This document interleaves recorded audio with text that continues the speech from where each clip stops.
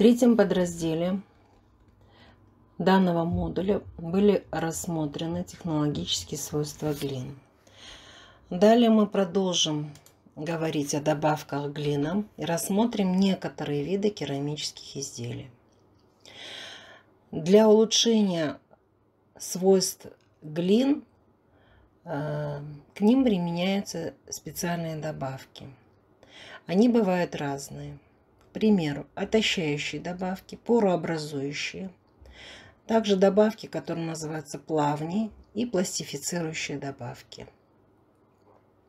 Отощающие добавки вводят в пластичные глины для уменьшения усадки при сушке и обжиге и предотвращения деформации трещин в изделиях.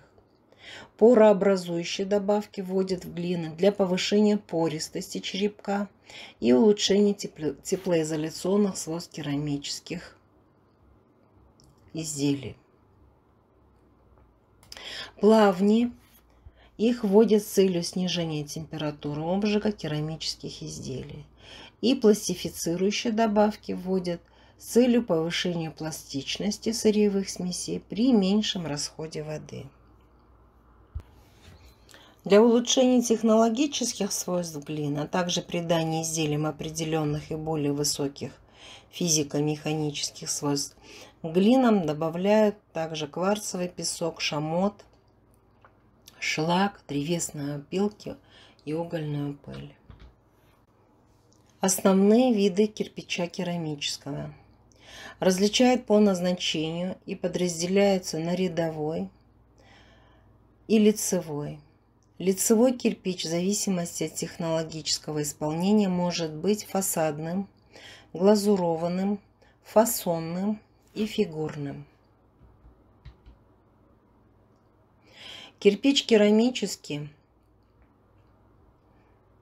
полнотелый, имеет форму прямоугольного параллелепипеда с ровными гранями, прямыми ребрами и углами, размером 250 на 120 на 65 миллиметров.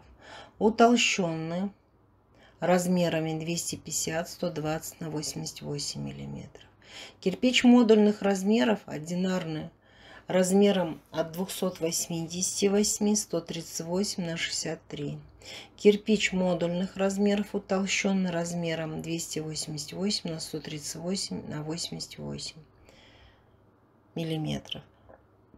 Керамический камень размером 250 120 на 138 миллиметров. Допускаемые отклонения от указанных размеров не должны превышать по длине плюс-минус 5, по ширине плюс-минус 4, по толщине плюс-минус 3 мм. Одинарный утолщенный кирпич изготовляет полнотелым, без пустот и с технологическими пустотами и пустотелым, а камни керамические только пустотелыми. Размеры, формы, расположение пустот а, в изделии, а также пустотность изделий должны соответствовать ГОСТам.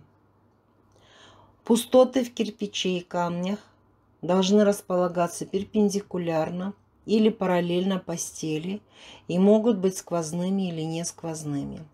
Ширина щелевидных пустот должна быть не более 16 мм, а диаметр цилиндрических сквозных пустот и размер стороны квадратных пустот должен быть, должен быть не более 20 мм. Для укрупненных камней допускаются технологические пустоты для захвата прикладки с площадью сечения пустот не более 13% от площади основания. Диаметр несквозных пустот и размеры горизонтальных пустот не регламентируют.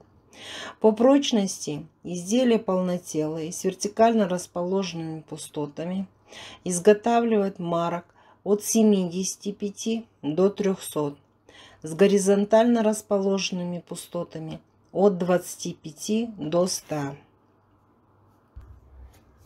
По морозостойкости на марке F15, 25, 35 и 50 По морозостойкости насыщенный водой кирпич должен выдерживать без каких-либо признаков видимых повреждений не менее 15 циклов попеременного замораживания при температуре минус 15 градусов и ниже с последующим оттаиванием в воде при температуре 15 градусов с потерей массы не более 5%, марки по прочности не более 25%.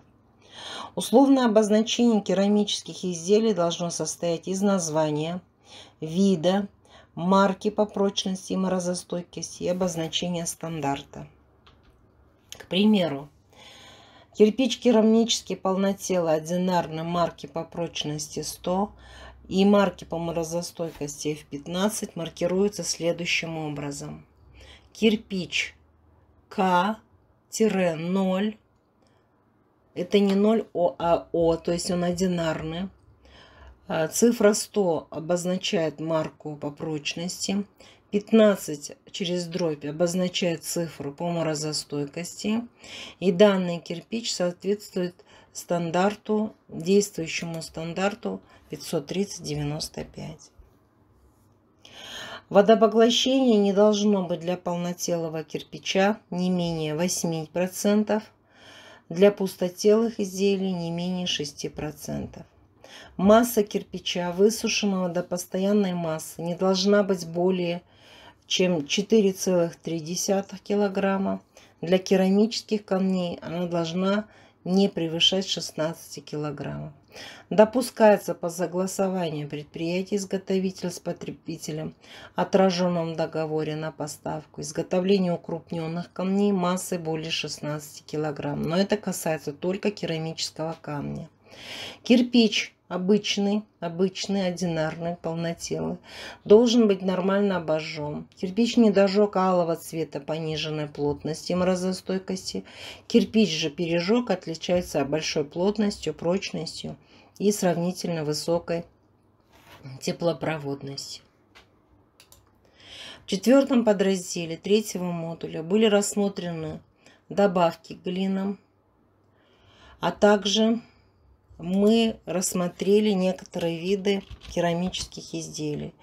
В следующем пятом подразделе третьего модуля продолжим знакомство с другими видами керамических изделий.